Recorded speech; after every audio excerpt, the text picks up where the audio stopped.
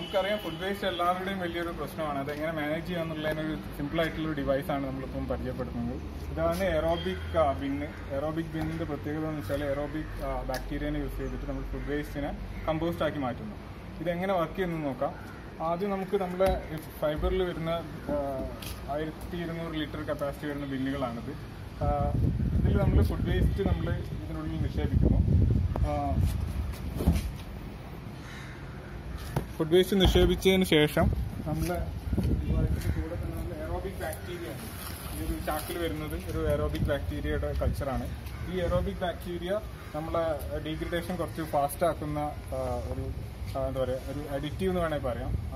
ആ- ഒരു process aerobic bacteria ചെയ്യുന്നു. അപ്പം നമ്മൾ ഫുഡ് വേസ്റ്റ് ഇട്ടതിന് ശേഷം എറോബിക് ബാക്ടീരിയ ഇടുന്നു.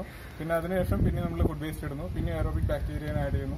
അങ്ങനെ നമ്മളൊരു വൺ മന്ത് നമ്മളൊരു ബിന്ന് ഫുള്ളാവാൻ വേണ്ടിയിട്ട് എടുക്കുന്നത് ഈ വൺ മന്തിന് ശേഷം നമ്മൾ അടുത്ത ബിന്നിലേക്ക് രണ്ടാമത്തെ വരുന്ന നമ്മുടെ ബിന്നിലേക്ക് നമ്മൾ ഫുഡ് ഈ സെയിം പ്രോസസ്സ് ഫുഡ് വേസ്റ്റ് അതിന് മുകളിൽ ബാക്ടീരിയന്റെ കൾച്ചർ അതിന് മുകളിൽ ഫുഡ് വേസ്റ്റ് അങ്ങനെ നമ്മൾ ഈ രണ്ടാമത്തെ ബിന്ന് നമ്മൾ ഫുള്ളാകുമ്പോൾ നമ്മൾ ഫസ്റ്റിലുള്ള ആദ്യം ഇട്ടിരുന്ന ഈ ബിന്ന് ഫസ്റ്റിലെ ബിന്ന് കംപ്ലീറ്റ് ആയിട്ട് വളമായിട്ട് മാറിയിട്ടുണ്ടാവും. അത് സിമ്പിളായിട്ട് വരുന്നൊരു പ്രോസസ്സാണ് അപ്പോൾ നമ്മൾ ചെയ്തിരിക്കുന്ന ഒരു ഒരു അഡ്വാൻസ്മെന്റ് എന്താണെന്ന് വെച്ചാൽ ഇതിന്റെ കൂടെ നമ്മൾ എയറോ എയറേഷൻ പ്രോസസ്സ് ഫാസ്റ്റ് ആക്കുന്നതിന് വേണ്ടിയിട്ട് ഒരു കംപ്രസർ ഒരു കംപ്രസർ നമ്മൾ ഇതിന്റെ കൂടെ ആഡ് ചെയ്തിട്ടുണ്ട്.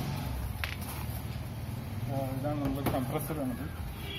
ഈ കംപ്രസർ നമ്മൾ ഡെയിലി ഒരു ഫൈവ് മിനിറ്റ്സ് ഒന്ന് ഓൺ ചെയ്ത് വെക്കുക. ഈ കംപ്രസർ ഓൺ ചെയ്യുന്ന കൂടി നമ്മളെ എയറേഷൻ ഒന്നുകൂടി ഫാസ്റ്റായിട്ട് നടക്കും ഒരു മുപ്പത് ദിവസം നമുക്ക് കംപ്രസ് എയറേഷൻ ഡീഗ്രഡേഷന് വേണ്ടത് നമുക്കൊരു ട്വന്റി ഡേയ്സ് ആയിട്ട് നമുക്ക് കുറയ്ക്കാൻ പറ്റും. ഈ ഡീഗ്രേഡ് ചെയ്ത് വരുന്ന കമ്പോസ്റ്റർ നമുക്ക് ഓർഗാനിക് മാനുവറായിട്ട് ഓർഗാനിക് ഫാമിങ്ങിനൊക്കെ വേണ്ടിയിട്ട് യൂസ് ചെയ്യാൻ പറ്റും.